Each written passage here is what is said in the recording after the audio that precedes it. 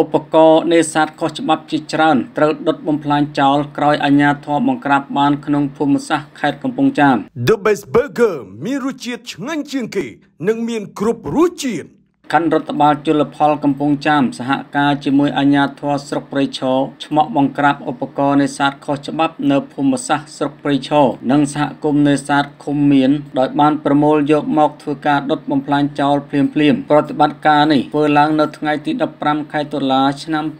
2024ដោយខណ្ឌរដ្ឋបាលជលផលកំពង់ចាមសហការជាមួយអាជ្ញាធរស្រុកព្រៃឈរនិងសហគមន៍នេសាទសាមគ្គីឃុំមាននិងដោយបានការនិងដោយបានការសម្របសម្រួលពីលោកវងប៊ុនវិសុទ្ធព្រះរាជអាជ្ញានៃអាយកាអមសាលាដំបងខេត្តកំពង់ចាមចុះប្រតិបត្តិការត្រួតពិនិត្យនិងបង្ក្រាបបទល្មើសជលផល បាន5ករណីក្នុងនោះមន្ត្រីជំនាញបានកសាងសំណុំរឿងតាមនីតិវិធីច្បាប់ស្ដីពីជលផល និងរុះរើកាប់បំផ្លាញចោលវត្ថុតាង នៃបទល្មើសជលផលនៅនឹងកន្លែងជាលទ្ធផល ប្រតិបត្តិការចុះបង្ក្រាបបទល្មើសជលផលនេះដែរក្រុមការងារបានរុះរើកាប់បំផ្លាញចោលវត្ថុតាងនៅឧបករណ៍មួយចំនួនរួមមានឧបករណ៍លូស្បៃមុងសរុប25មាត់របាំងស្បៃមុងប្រវែង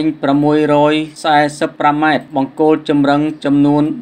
375ដើម ចាក់លែងកូនត្រីចម្រុះទម្ងន់សរុប32គីឡូក្រាម ចូលក្នុងបឹងវិញនិងដុតបំផ្លាញឧបករណ៍ខុសច្បាប់ទាំងនោះចោលទាំងអស់ KFA គឺជាក្រុមហ៊ុនអចលនទ្រព្យឈានមុខគេនៅកម្ពុជា